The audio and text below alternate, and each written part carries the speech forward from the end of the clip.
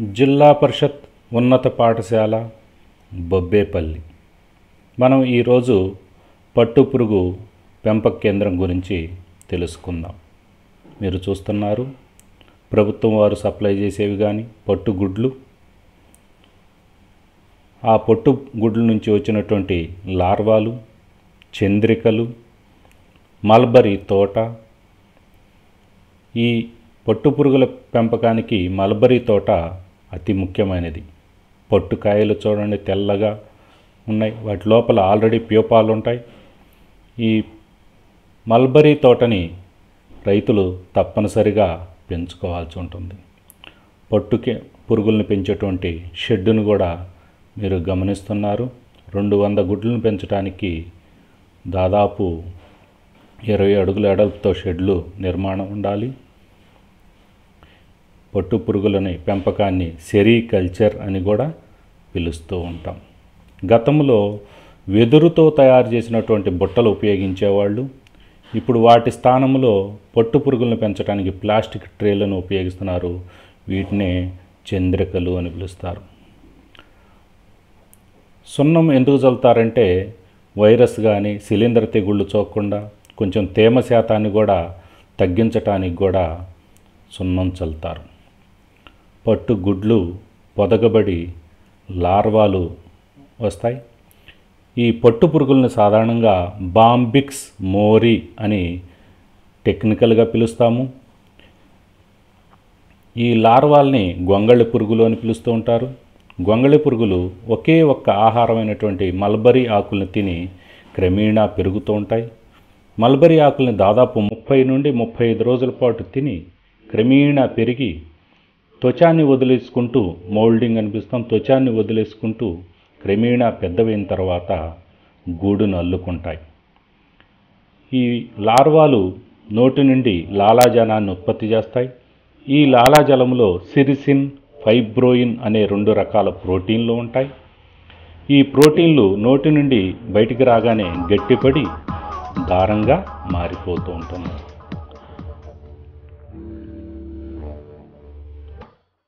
ఇప్పుడు చూడండి పట్టు పురుగు దారాన్ని అల్లుకోవటం గమనిస్తున్నారు.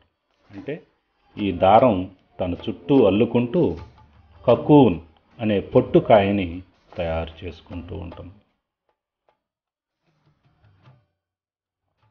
ఆంధ్రప్రదేశ్లో పోచంపల్లిని పట్టు పట్టణం అని కూడా పిలుస్తూ ఉంటారు.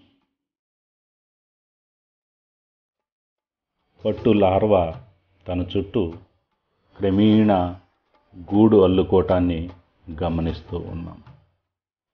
ఈ పొట్టు కాయలోంచి మనం గనక లార్వాని వ్యోపాదశిని వేరు చేయకపోతే రెండు మూడు వారాల తర్వాత పొట్టు పురుగు కాయ నుండి చిలుకలు బయటికి వచ్చేసి దారం తెగిపోతుంది. అందుకనే పొట్టుకాయల్ని తప్పనిసరిగా ఉడికించి లోపల ఉండేటువంటి ప్యోపాదశలో ఉండేటువంటి లార్వాని చంపేస్తారు. ఇదిగోండి రెక్కల పురుగు పట్టు పురుగు యొక్క ప్రౌఢ దశ రెక్కల పురుగు. ఈ స్త్రీ పురుష కీటకాల మధ్య ప్రత్యుత్పత్తి జరిగిన తర్వాత ఆడ పట్టు పురుగు రోజుకి ఐదు వందల గుడ్లు పెడుతుంది. ఈ గుడ్లు పెట్టిన వెంటనే ఈ ఆడ కీటకం అనేది చనిపోతుంది.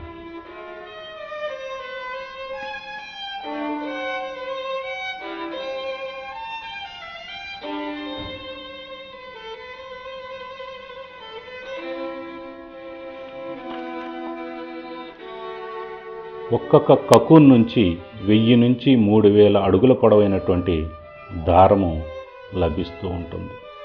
పట్టు పరిశ్రమల్లో పనిచేసే వాళ్ళ చర్మ చర్మ వ్యాధులు శ్వాస సంబంధమైన వ్యాధులు కూడా వస్తూ ఉంటాయి. మరొకసారి చూడండి. లార్వాలు మల్బరీ ఆకుల్ని తింటూ క్రమేణా పరిమాణంలో పెరిగి తమ చుట్టూ కూడా గూడుని అల్లుకుంటూ ఉంటాయి. పొట్టుకాయలోని డింబకాన్ని చంపడాన్ని స్టిప్పింగ్ అని పిలుస్తారు. సుమారు పది నుంచి పదిహేను నిమిషాల పాటు వేడి నీటిలో ఉడికిస్తారు.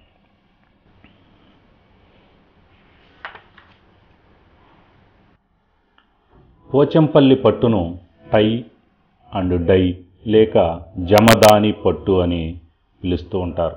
ధర్మవరపు చీరలు వెడల్పు అంచుతో మధ్య మధ్యలో బోటాలతో లేదా చుక్కలతో ఎంతో అందంగా ఉంటాయి.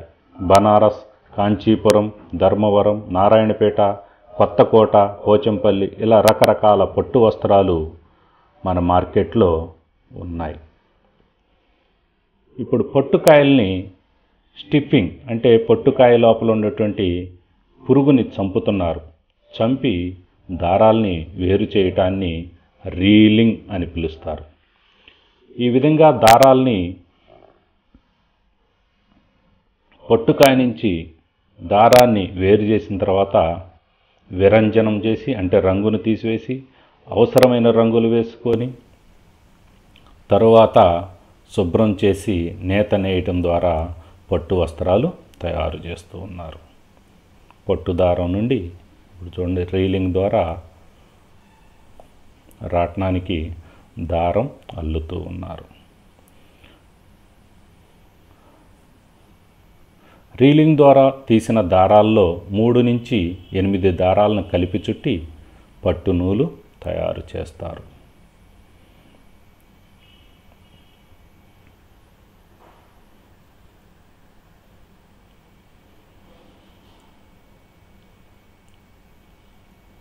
ఇది సాధారణంగా గ్రామీణ ప్రజలు చేసేటువంటి పద్ధతి. ప్ర ప్రస్తుతం ఆధునిక యంత్రాలతో కూడా ఈ రీలింగ్ ప్రక్రియని చేపడుతున్నారు. తర్వాత నేత నేయటం. ఆ దారాల్ని మగ్గం మీద చే మగ్గం మీద పడుగు పేక అని రెండు వేరు దారాలను వేరు చేసి పట్టు వస్త్రాల్ని మగ్గం మీద నేయటం గమనిస్తున్నారు.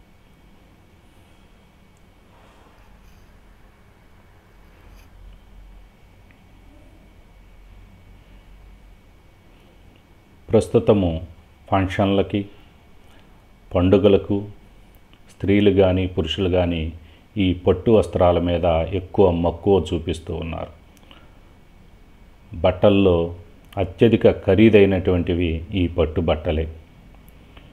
మీరు ఇప్పుడు ఆధునిక యంత్రాలను కూడా చూస్తూ ఉన్నారు. ఆధునిక పట్టు మిల్లులు.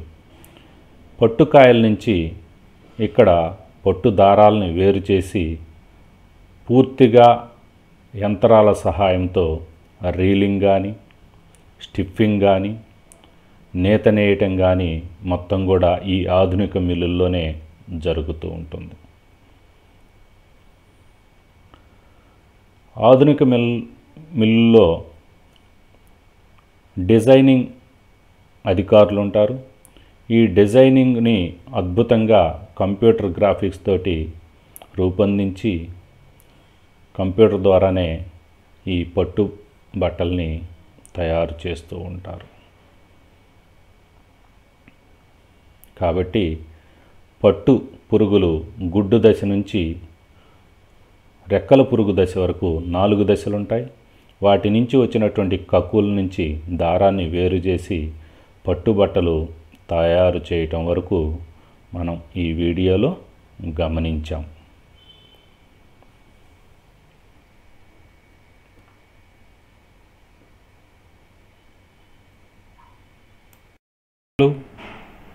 పట్టుపురుగును శాస్త్రీయంగా ఏమంటారు? పొట్టుకాయల్లోని ప్యూపాదశను ఎందుకు చంపుతారు?